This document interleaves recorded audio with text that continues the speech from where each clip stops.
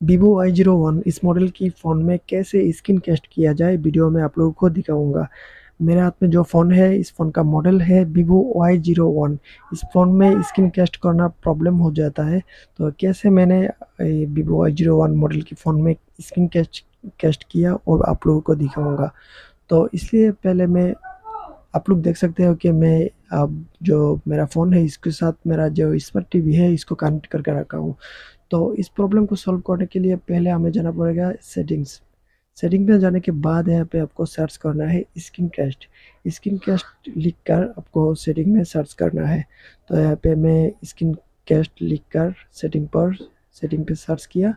तो यहाँ पे देख सकते हो कि नो रिज़ल्ट ऐसा कुछ आया नो रिज़ल्ट तो सेटिंग में इस प्रॉब्लम की कोई सॉल्यूशन नहीं है। तो यहाँ से मैं सेटिंग से बाहर चले जाता हूँ। सेटिंग से बाहर आने के बाद यहाँ पे हम्म, आप लोगों को एक बात बता देता हूँ कि कुछ प्ले स्टोर से कुछ भी ऐप्स आपको इंस्टॉल नहीं करना पड़ेगा। इस प्रॉब्लम को सॉल्व करने के लिए प्ले स्टोर से एक्सटर्नल कोई ऐप्स आपको इंस्टॉल करना नहीं पड़ेगा।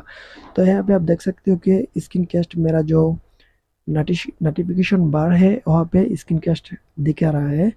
तो यहाँ पे मैंने कैसे स्क्रीन कैस्ट को लेके आया, वो देख रहा हूँ मैं। यहाँ पे आप एक पेंसिल आइकन देख सकते हो कि यहाँ पे एक पेंसिल आइकन दिख रहा है। इस पेंसिल आइकन आपको पेंसिल आइकन को आपको क्लिक करना है। पेंसिल आइकन को क्लिक करने के बाद यहाँ पे आपको कुछ ऑप्शन दिख रहा होगा। यहाँ पे आपको मिल जाएगा स्क्रीन कैस्ट ऑप्शन यहाँ पे आपको स्क्रीन कैस्ट ऑप्शन यहाँ पे आपको मिल जाएगा। तो यहाँ से आपको यहाँ टैप करके धर के टैप करके उसे ऊपर लेना ले जाना है।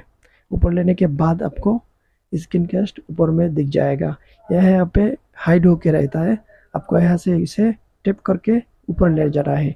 बस दे, देख सकते हो कि स्क्रीन कैस्ट मेरा नोटिफिकेशन बार में आ गया।